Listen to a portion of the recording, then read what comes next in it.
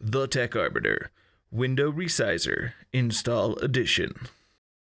Windows Resizer is an extension for the Chrome browser which allows you to specifically set your window size and its position on your monitor with a click of a button.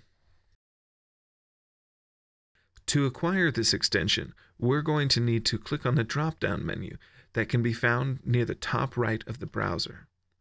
Generally, this menu is designated by three dots, but it can also be designated by this orange notification symbol. Near the bottom of the drop down menu, it says Settings. Click there. Now we'll pop across the window to Extensions. We're then going to scroll to the bottom of the extension menu and click Get More Extensions. We're now in the Chrome Web Store. We're going to go to the search bar and we're going to type in Window Resizer. The version we want is at the top here. Go ahead and click the blue button on the right that says Add to Chrome. Then, in the pop up, click Add Extension. Now that we have added this extension, we can see a new icon near the top right of our browser window.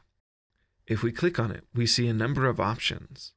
The standard options on Windows Resizer correspond to different potential screen resolutions.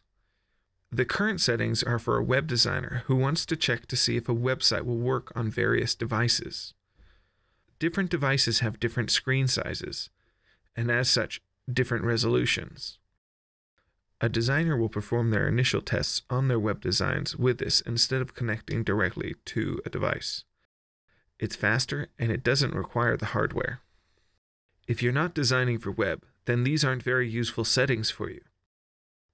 Alternatively, we can set this up to mimic HD resolutions for video tutorials, or we can set it up so that it'll quickly split screen so that we can multitask much more effectively. Let's move on to the next video where we will be making these customizations.